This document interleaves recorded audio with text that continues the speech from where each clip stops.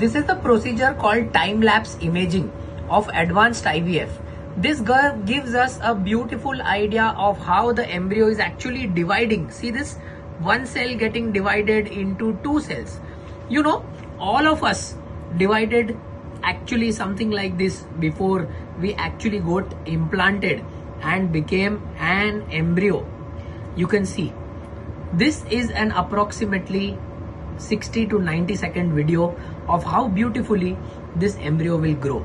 This is the day 3 embryo and beyond day 3 the embryo expands and goes into a stage which is called as a morula. This is a morula where you cannot count the cells. Following which there is an appearance of a cavity inside this embryo and this cavity marks the beginning of the embryo development into something called as blastocyst or day 5 embryo. This is exactly how an embryo grows. This type of information of growth of the embryo is extremely important in counseling the patients correctly because when we counsel the patient, we are able to identify timelines. Why did the embryo not grow? Where did the embryo stop to grow?